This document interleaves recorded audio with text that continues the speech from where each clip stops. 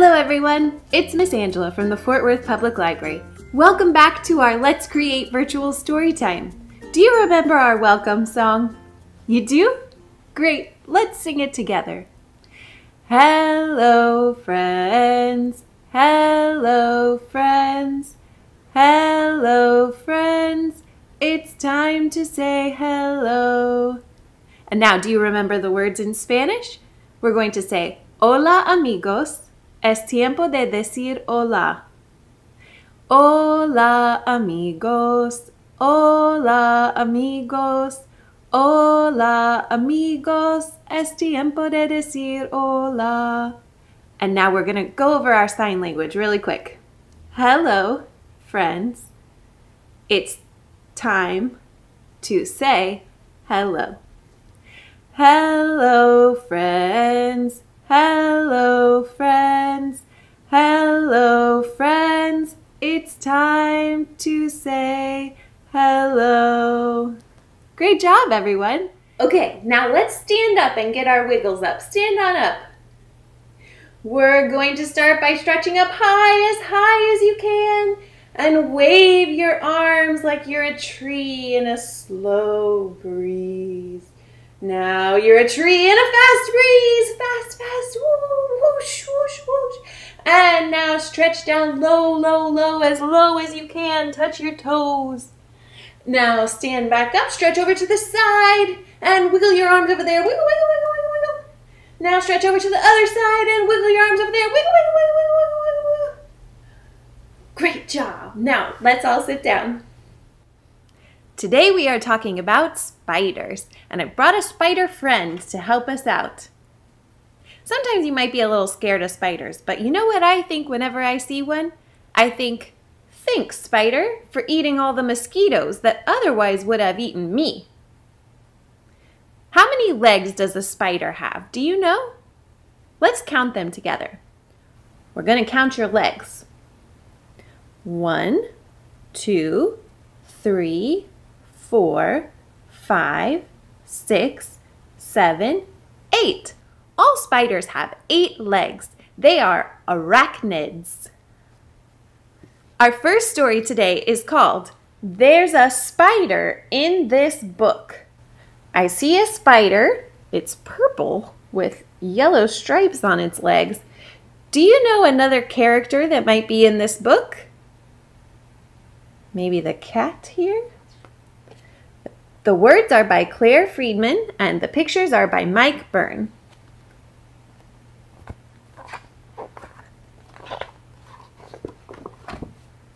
Hello! I should probably warn you, there's a spider in this book. My name is Eric. I have long hairy legs and big googly eyes. Granny and Fluffy the cat don't like spiders, so I'm hiding. Can you find me? Let's see, can you find Eric the spider? Maybe if I zoom it in a little bit closer. Can you see him? A little closer. Can you see him?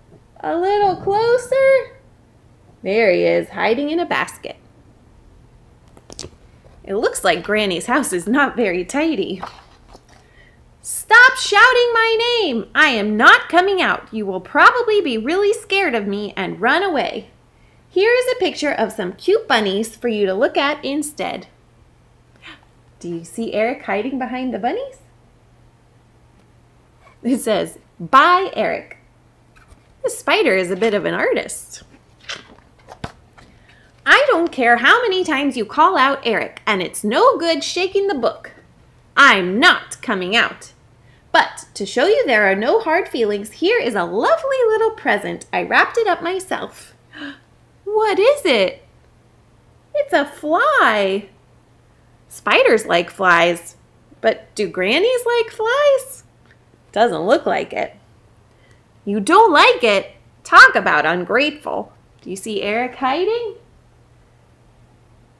Behind the picture frame. Perhaps if people got to know the real me, they wouldn't be so scared of spiders. My favorite hobby is embroidery. Wow, look at that web Eric made. Can you see the shape? It's in the shape of a heart. I can run really fast too, especially when Fluffy tries to eat me. Oh no!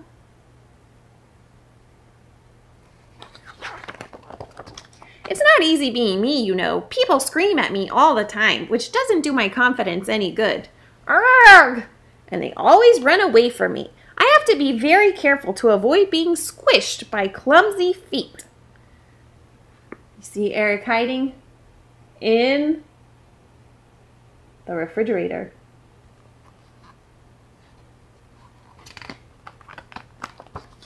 Think of it from my point of view. People poke me with long pointy sticks. They trap me in jam jars, then throw me out of high windows. And worst of all is that noisy sucking machine. You know what he's talking about with that noisy sucking machine? Looks like a vacuum cleaner to me. It's not fair. Pick on someone your own size. My nerves are in shreds. I've tried to get people to like me. One Christmas, to look less frightening, I disguised myself as a decoration on Granny's tree. Do you see Eric hiding on the Christmas tree? There he is. Oh, and who's that in the window? Santa. Big mistake. Looks like Fluffy's climbing the tree to try and get Eric. If people weren't so scared of me, I'd make an excellent pet. I could catch any flies buzzing around their home. I wouldn't need feeding. Breakfast fly, snack fly, lunch fly, dinner fly. Would you ever try a fly? I've tried other bugs, but I don't know if I would eat a fly. And they'd never need to brush me. I really like playing games too. I'm great at hide and seek. There's Eric hiding in a few places.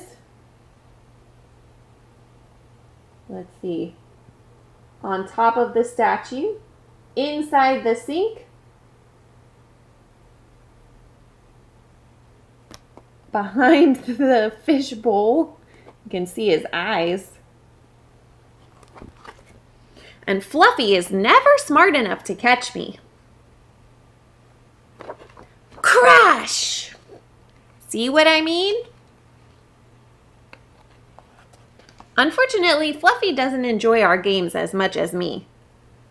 Uh-oh, looks like Fluffy might be in trouble with Granny. And he hates being told off. It makes him really mad. Good job I have an emergency escape line. Quick, turn the page. Whoosh! Phew, that was close. Inside this book is a brilliant place to hide. I bet you still can't find me. Do you see Eric's legs poking out from under there? Let's see if we can see him. There he is. The end. Great listening, everybody. Now let's stand up and we're going to do a little spider rhyme. Now, you may not have a spider puppet or a spider stuffed animal at home, but that's okay. You're going to use your hand as your spider and you're going to follow along with me like this and make your spider go to the places where I'm talking about. There's a spider crawling on my arm. Where will he go? There's no use in asking me. Only the spider knows. Where did the spider go this time? My leg. There's a spider on my leg. Where will he go? There's no use in asking me. Only the spider knows. Hmm? Where did the spider go this time? On my head. There's a spider on my head. Where will he go? There's no use in asking me. Only the spider knows.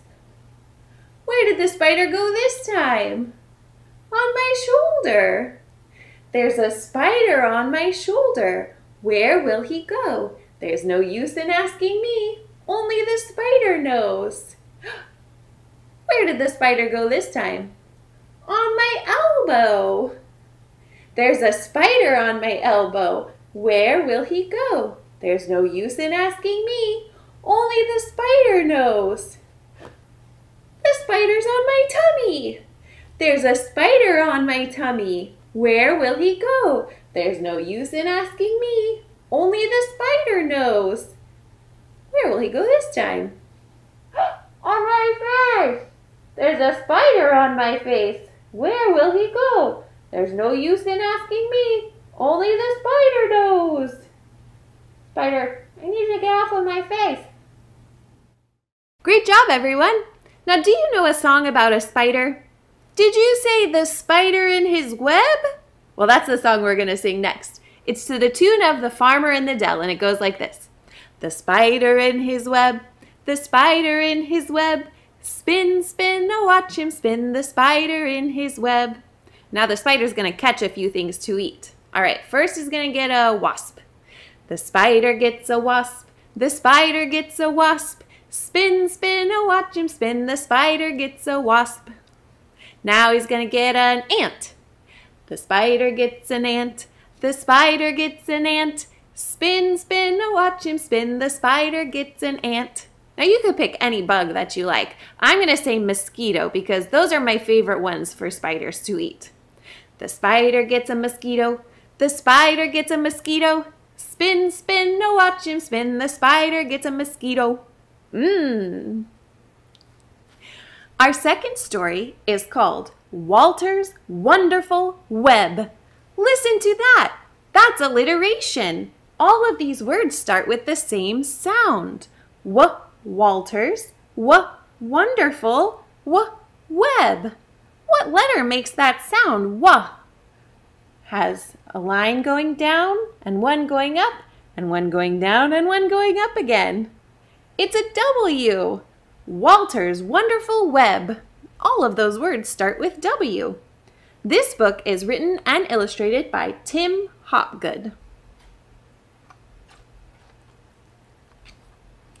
Walter wished, another W word, Walter wished he could spin a perfect web just like his friends.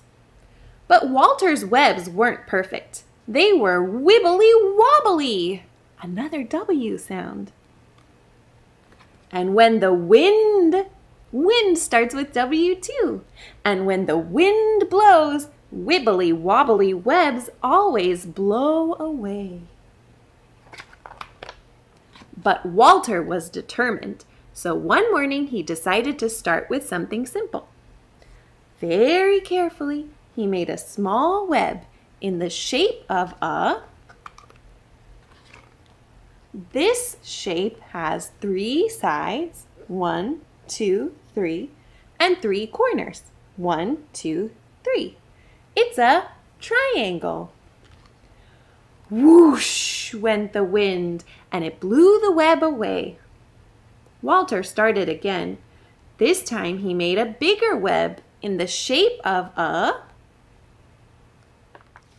This shape has four sides, one, two, three, four, and four corners. One, two, three, four. And its sides are the same length. It's a square. Whoosh went the wind, and it blew the web away. Walter sighed and started again. This time he made a longer web in the shape of a... This shape has four sides like a square, one, two, three, four, and four corners like a square, one, two, three, four, but two of its sides are longer than the other two. It's a rectangle. Whoosh went the wind, and it blew the web away. Walter sighed. Then he stretched his legs and made a taller web in the shape of a now this shape also has four sides and four corners. One, two, three, four. One, two, three, four. But the corners are different sizes. It's a diamond. What do you think the wind did? Whoosh, whoosh went the wind, and it blew that web away too. Perhaps my webs should be more round, thought Walter. So he climbed up and down. He twisted and twirled. Would this be Walter's first perfect web? Let's see. Nearly. It wasn't a perfect web, but it was an almost perfect. This shape is round. It has no corners. It's a circle. And it looked strong. Whoosh, whoosh, whoosh went the wind. Poor Walter hit the ground with a bump. Poor Walter. Walter was tired and upset. He felt like giving up. But as the sun went down, he thought about all the different shapes he had made. All at once, he knew just what to do, so he took a deep breath and set to work. Let's see. What kind of web do you think Walter is going to make? Whoosh went the wind, but it didn't stop Walter or his web. Not this time. And as the stars came out, who else came out? A few owls. Walter's web shone in the moonlight. Wow, what a beautiful web! It was better than perfect. It was a truly wonderful web. Let's look at it again and see if we can see any of the shapes that we talked about. Do you see squares? Do you see triangles? Do you see circles? Do you see rectangles? Do you see diamonds? All of the shapes are inside of Walter's web. The end. Great listening, everyone. Now, do you know a song about a spider? Did you say five little spiders? That's the song we're going to sing next. Five little spiders spinning webs in a door. One spun away and then there were four. Four little spiders spinning webs with glee. One spun away and then there were three. Three little spiders spinning webs brand new. One spun away and then there were two. Two little spiders spinning webs in the sun. One spun away and then there was one. One little spider spinning webs all alone. She spun away and then there were none. All of the spiders came back to spin together and enjoy the sunny weather. Great job, everyone. Next, we're going to do a rhyme about a spider. And you may have heard this one before. It's a pretty popular nursery rhyme. It's called Little Miss Muffet. So we're going to say, Little Miss Muffet sat on a tuffet, eating her curds and whey. Along came a spider and sat down beside her and frightened Miss Muffet away. Okay, let's do it again.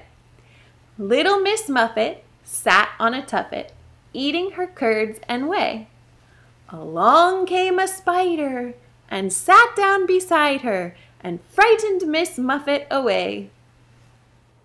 Little Miss Muffet sat on a tuffet. A tuffet is like a pillow. Eating her curds and whey. Curds and whey are like cottage cheese. Along came a spider and sat down beside her and frightened Miss! Muffet away. Little Miss Muffet sat on a tuffet, eating her curds and whey. Along came a spider and sat down beside her. Boo!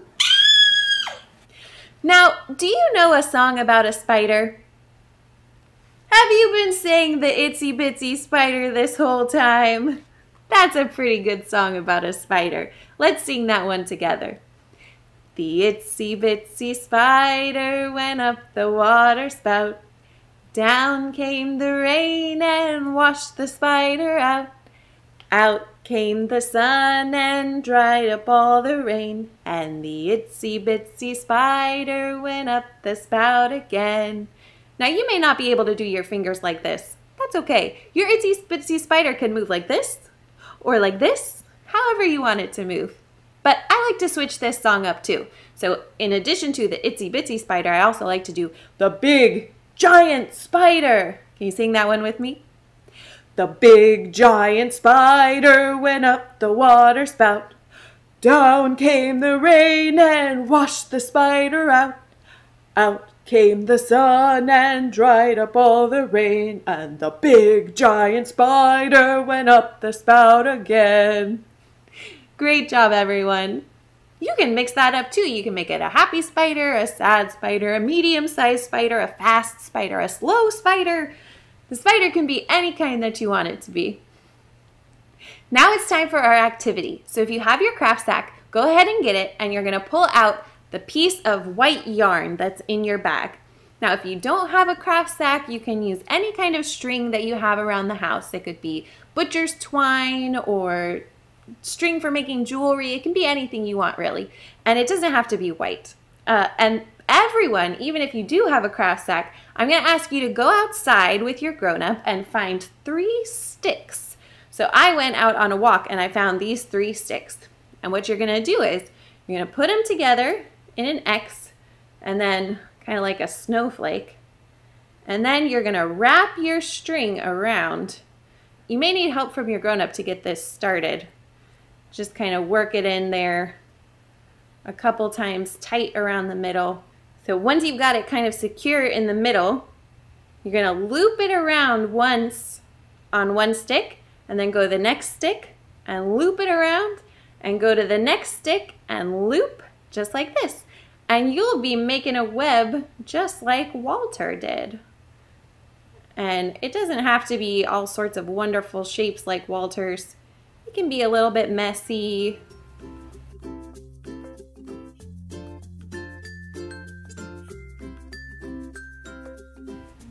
And then when you've used up all of your yarn, ask your grown-up to help you just tie a knot at the end. And you could hang it up if you wanted. And there's your wonderful web. Now let's sing our goodbye song to close out. Goodbye, friends. Goodbye, friends. Goodbye, friends. It's time to say goodbye. And now in Spanish, do you remember how to say goodbye in Spanish? You say adios. We're going to say adios amigos, goodbye friends. And then es tiempo de decir adios. Adios amigos, adios amigos, adios amigos, es tiempo de decir adios. Now let's revisit our signs. Goodbye, friends. It's time to say goodbye. Goodbye, friends. Goodbye, friends. Goodbye, friends.